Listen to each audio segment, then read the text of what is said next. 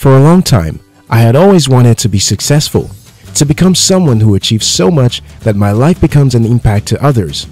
But growing up, I was overly protected and always had what I needed. Thus, I grew to a point where making decisions and taking steps were not my forte. I loved to work little and get much, so technically, you could call me lazy. As time went on, I was scared that I was going to remain lazy and therefore, since no lazy person succeeds, I didn't expect I would succeed if I continued like this. So, what did I do? Out of fear, out of concern for the fact that I would never achieve the kind of life I wanted, I did nothing. Sincerely, I did nothing. I was afraid to be so hardworking. I was scared to push myself over the edge. I was scared I would never be strong enough to push myself hard. So, I tricked myself into doing what I didn't like to do. I started slowly. I started, first, by reading books, lots of books. Then I would practice bit by bit what I learned in the book. As time went on, I was reading so many books and practicing so many things.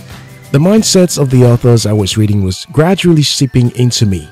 I didn't know when I had started thinking like them, behaving like them, talking like them, and achieving their kind of results. You're a target.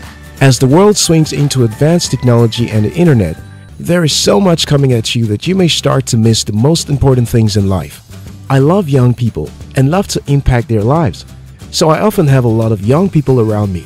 Recently, two young people often come to me not to learn anything, not to ask me questions that will better their lives, but to watch movies either on my phone or on my laptop. I have learned never to reject them since that's their choice, but it often saddens me. The reason is simple. In an age where we are deluged by information on every side, where there is no limit to what anyone in the world can learn, it saddens me to see young people waste their time on frivolities. Daily, there are millions of advert bombardments from the internet and offline too many businesses are delving into creating more and more apps and businesses that offer pleasure over work. It's very easy to spend so much time on Facebook and other social media channels that you miss the most important thing in your life your personal development, your personal growth. The simple truth is, if you are not working, you're retrogressing. If you're not improving, you're becoming still. If you're not becoming better than you were yesterday, you're going to become obsolete before you know it. The world is moving so fast that personal development is no longer a decision you have to push aside if you must compete with this rat racing world. Personal development is a must. More than ever before, we have more fun options on our fingertips. We have more opportunities to do less or do nothing. Most of the work we used to do at home has now been automated. Long ago, a wife would spend hours and hours doing the laundry without a machine. Now, just at the press of a button, your laundry gets done by the washing machine. This should be a blessing to you, not a curse. How do I mean? The level of your success today is commensurate with the level of your personal development. As the world shrinks into a global village, there are millions of people competing for the jobs you are vying for. Companies in your country can suddenly hire staff from outside your country to work virtually for them. The jobs that seem to be limited to your country has now crossed boundaries. You will only be valued as you develop. The challenge is hitting them all. Recently, I heard some people say these are hard times.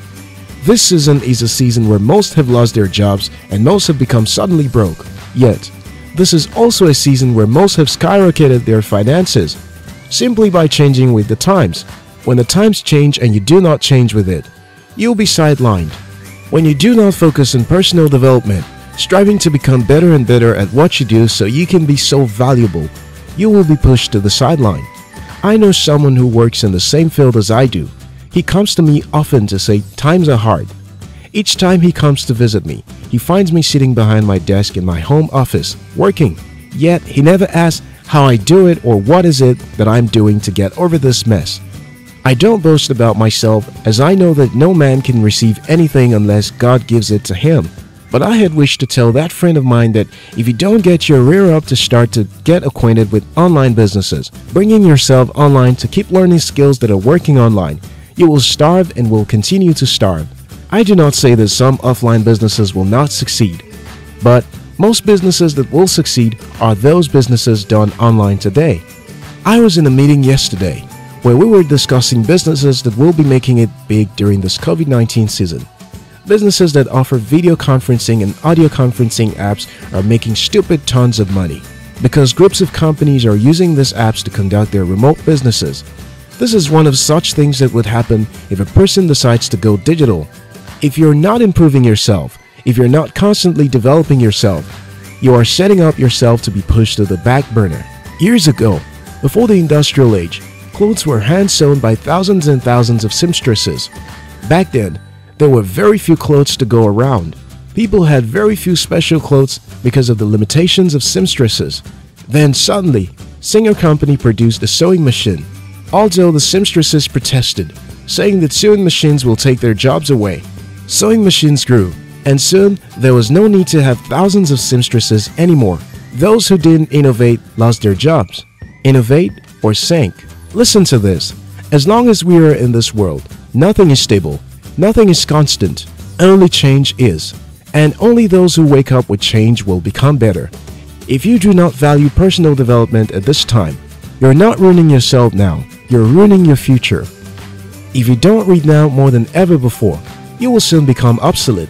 For how will you learn about life, how money works, etc.? If you don't watch free educational videos on YouTube, how will you become better? If you don't learn new skills and constantly participate in things that challenge your thinking and help you to become better, you will only add yourself to the number of poor people who will be available in the world in later years.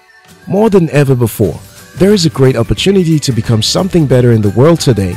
With the internet, you can learn almost anything. In the last couple of weeks, I have learned so many new skills I couldn't have imagined I would learn. I am always so fascinated with learning new skills because I don't want to ever be caught unawares when an opportunity comes to use that skill. Abraham Lincoln said, I will prepare, then my opportunity will come. End of quote. You may not have all you need now, but you have all you need to get started to build yourself the kind of life that you want if you would just study. I watched a documentary of a boy in the country who dropped out of school and started studying how to make airplanes on the internet. Now he makes airplanes at the back of his yard just by studying up on the internet and reading other books. Another documentary showed a young boy who studied how to make drones using the internet.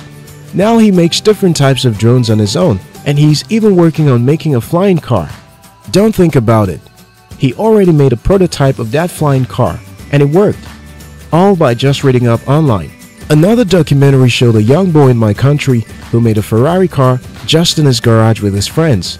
The car was tested by one of the highest politicians in my country, and it worked superbly. What can you do to become a better person? There's almost nothing you cannot teach yourself if you're willing to.